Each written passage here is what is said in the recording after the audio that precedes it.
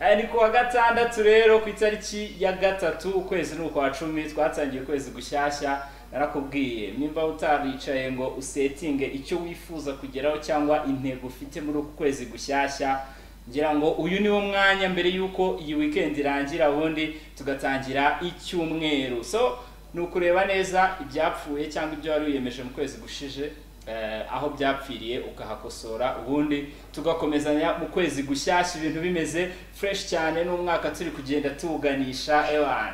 Ku mpera kabisa. Ubushize nakubwira ko hatabura iminsi ijana ariko none ubu ngubu ubwo na mirongo icyenda nta n'ubwo ikirimo.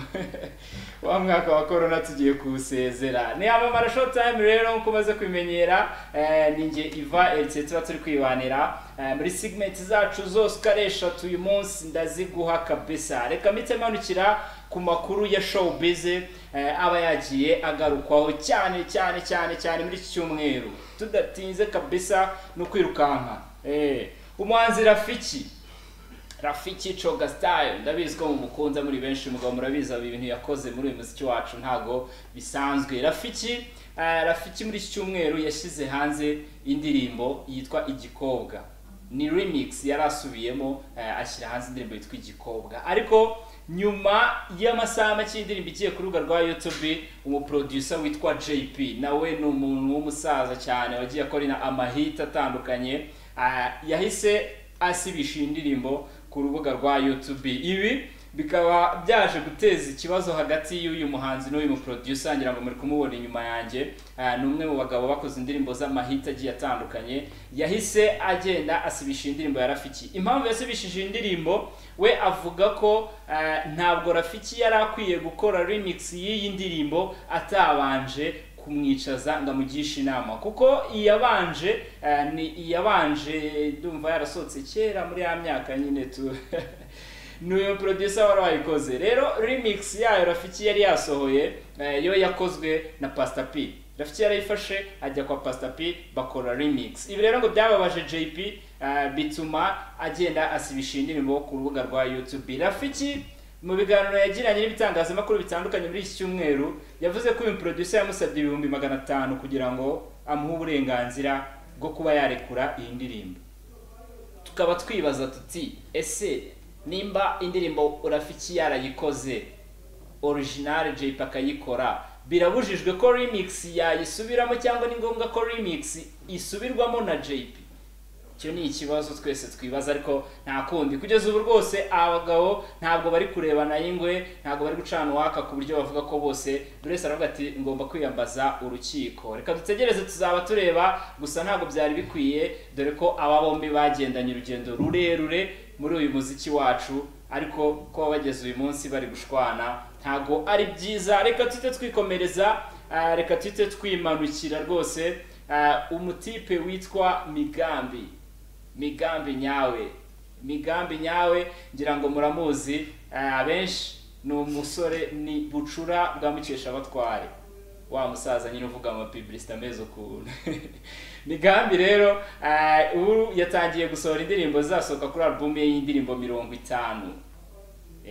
Ubu ngubu akaba yatangiye gushyira hanze izo ndirimbo. Ni indirimbo zo kuramya no guhimbaza imana eh, zizasohoka kuri alubumu uyu musore yitegura kumurika eh, uyu mwana wa mukesha batware davis d. Davis d murabizi? Eh, ni umwe mu basore nawe wakoze indirimbo yahitinze cyane muri iyi sama ariyo mikoro abenshi bakayita ibishegu bakayita n'ibindi bintu bigiye bitandukanye. Kuri ubu ngubu papa wa davis d ntabwo yemeranya n'abavuga ko umuhungu we aririmba ibishegu. Reka reka yabiteye utwatsi aravuga ati ni gute muvuga ngo abahanzi baririmba ibishegu? Batarigeze babwirwa ngo ntabwo bemerewe kurenza ahangaha cyangwa ibyo bagomba kuririmba ni ibi ibyo batagomba kuririmba ni ibi ngibi. Uyu mugabo we rwose yavuze ati ibyo kuvuga ngo umuhungu wanjye araririmba ibishegu. Reka reka reka reka ntago.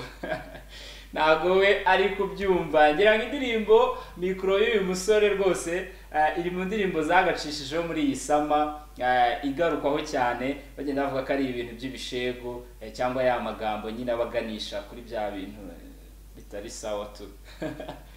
So amakuru ya showbiz nari ngufitiye na yo ngayo kubera ko uyu munsi nakubwiye ngo ni ugutwika. Ni hot ni amamara showtime ah, ndi kumwe n'umuntu. Ni umunyempano mushyashya eh, ni ho tugeze tugeze muri ya segment yacu ya new talent ndi kumwe n'umunyempano mushyashya azi kuririmba aracyari muto ariko reka nari kuvuga ngo ni mutoya wasanga ari na mukuru. Araza kubibwirira. Eh, reka tumwakire. Ubundi atwumvisha uburyo ari umunyempano cyangwa atwumvisha uburyo nawe azi kugorora umuhogo ubundi twikomereza muri amamara show time. Umusa karibu cyane kuri y'abana umeze neza. Fresh cyane kuko ngaho uhita utangira utwibwira ariko nyine utwibwire nka kwa kundi kwanyu kw'abasani uwo mwanya mpindura gahunda rero agatambwe musaba tubyinane uburyo uzunguza birimo biramvuna n'uburyo unyonga bigatuma ndaya Ah, andika umunani nkunda umunani mu mibare nkunda nkunda umunani. Be ntuhangayike piku paka mu gitondo. Imbere inyuma imbere yo soprano cyubahiro ni soprano cyubahiro ngo yitwa soprano cyubahiro. Men ngo andika umunani. Umunani harya bawandika gute umunani ko twuba wigoronze gutya igutya nyine Eh, kubera iki se wabyise kwandika umunani ni uburyo bwa gihanzi Eh, kugira ngo umuntu nyine akore indirimbo ye fresh mm, hari utuntu agenda ashyiramo anazimiza nawe urabyumva nyine eh, ubwo nawe warazibije ubwo yaba hari ikintu nawe udutsimbye aho ngaho. Ubwo ntabwo kirimo. Kuzimiza kwanyu ko ntakigushira amakenga ah yaba Eh. papa davis yabituvugiye. Eh, ntabwo nyine. Niyo gahunda. Ubundi se wowe ibishego kuririmba ibishego ubundi wowe ubyumva ute ubundi reka mubwire Mm. ikibazo ntabwo ari hano bonyine bakimbajije Mm, n'andi bakimbajije Mm. ntabwo nemeranya n'abantu bavuga ngo ibishego wowe nimba umunyamakuru wumvise ngo igishego ubundi se ko ari we usipidinga ikintu? Mm, nimba wumvise indirimbo wumva ngo ni igishego sibyo mm, ka nguhe urugero mm. igare si indirimbo yageze kure?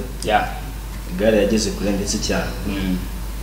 na yo iri muri izo bashinja ko ari ibishego yama Eh, noneho ukuntu bimeze? Eh, umuhinzi wo hepfo yawihingira ikawa. Eh, azumva igare anahamagara kuri televiziyo avuga ati nitwa habimana ndashaka igare. Ubu ndi ku igare ryanjye avuge rya rindi ritwara ikawa. Eh. ayijyaniye umusaruro wiwe ruganda ariko wowe bifata ubiremereze bya danje Eh. mana abanyamakuru nyine. Ariko ntabwo abanyamakuru b'inzego ntabwo ari twe soprano cyubahiro none se umusa Yo. Ubundi umaze igihe kingana iki muri game? Maze nk'umwaka. Umwaka. Uririmba iyihe njyana? Abandi nta muhanzi ugira limite Mm. iyi nta limite mfite. Eh, nzaza nkora ikintu kijyanye na vibe nabonye n'ibintu ushaka gus- gu- gushyira hanze. Mm. ya nimbona ari bana abantu babikunda. Cyane cyane nk'umuhanzi ukizamuka hari ibintu byinshi nyine umuntu agenda agerageza. Icyo umuntu yafatishamo kikaba ari fresh. Ariko uyu munsi ni gukora afrofusion afrobeat njyana nk'izo ngizo afrofusion afrobeat. Nk'umuhanzi ukizamuka ni iyihe mbogamizi yakugoye kurusha izindi? Umufungo ya na umufungo. promosiyo biba ari danger Eh. ubundi gukora indirimbo biravuna mwana Eh, Eh, kujya muri studio ugakora ugatanga amafaranga audio video.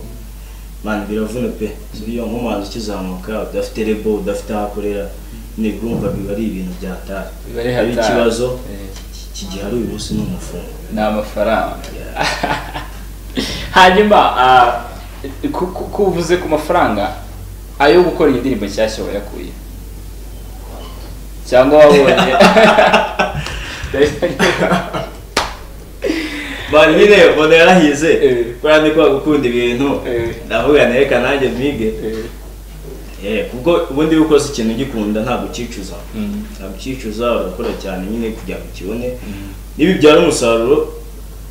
Man nzavuga ko nyine wavuyemo hano. Eh. subizi se. Jya ngaho tubwire kuri iyi ndirimbo yawe nshyashya watuzaniye uyu munsi. Indirimbo yitwa nionyeshe Mm. Indirimbo iri mu rurimi Ku- ku- kubera iki kwanza wayise niyonyeshe? Ndumva niyonyeshe ni igiswahili. Kubera iki wayise wayihaye izina ry'igiswahili ntabwo ari njye njyenyine wabibyise Mm. Na- na- nari ndi kumwe n'abandi bantu muri studio nari ndi kumwe na producer wanjye Podbeat ndi kumwe n'abandi bantu twari turi tumva nionyeshe niryo jambo riri kuza cyane kandi rizorohera abantu ku- kuryumva. Bo turavuga reka tuyite nionyeshe niyonyeshe. Hanyuma ya niyonyeshe rero harakurikira iki? Soprano mfite indirimbo nyinshi. Mfite mfite indirimbo zarangiye nk'ebyiri. Mfite ariko ndumva nyuma ya nionyeshe hazasohoka indirimbo yitwa johanita. Nayo ni fresh tu. Nayo ni fresh. Ni fresh. Eh, management management. Kugeza uyu munsi nta management ifite. Nta management ifite nta- na timu ya danje ifite. Ya ariko ntabwo byambuza gushimira abantu bagenda bamfasha umunsi ku munsi. Ya ariko kugeza uyu munsi nta management ifite kandi ndayishaka. Ndayishaka gusa nyine akeza karigura ninkora ibintu bya fresh. Eh, nanjye rwose nzabura umuntu uvuga ati reka mfate umufungo wanjye. Eh, ushyire kuri soprano umukobwa yimbimukorere ya soprano twumvishe ko koko nimba ari wowe waririmbye muri niyonyeshe nyinshi asweduga when I see your face so big, I feel alright when I see your figure, baby. Let me take time, explain how much I love you. You my feelings, umba mu birenze uko byumva undundu. Singufata nka mbere nk'uko ubitekereza undu. Ngarurira agatima bashe gutuza he mm, nionyeshe kama utanipenda kama zamani. Na mitarudia usiku inaoga shomi. Unambie eti never leave you baby. Unaambie eti never leave you baby. Nionyeshe tu be be nionyeshe tu be be be nionyeshe tu be be nionyeshe tu be be be oh yeah. Mbere ufite akaguma keza kabisa. Wakuyemo sana. fresh kameze neza. Ni iki wasaba abanyarwanda? Kubashyigikira nk'umuhanzi wese ukizamu donc n'uwagize izagera ntabwo ntabwo wamubwira ngo ni icyo usaba abanyarwanda. Ntavuge kunshyigikira saba ko abanyarwanda banshyigikira eh, baka- bakamflowinga kunshyigikira kundi nta kunshyigikira kundi. Bajye kuri youtube channel yanjye soprano cyubahiro. Yesu umuntu uri kureba eh, kuri screen za btn arimo arareba soprano indirimbo itangiye byanditsemo arabona uko byanditse ahita yandika cyubahiro bisanzwe arabona indirimbo zanjye zose maze gukora indirimbo enye mu mwaka. So ubundi eh, soprano ni naryo zina ryawe? Cyangwa ni ni n'ak'ubuhanzi aya amazina yanjye ubu nitwa cyubahiro eric. Cyubahiro eric. Aka Soprano. soprano.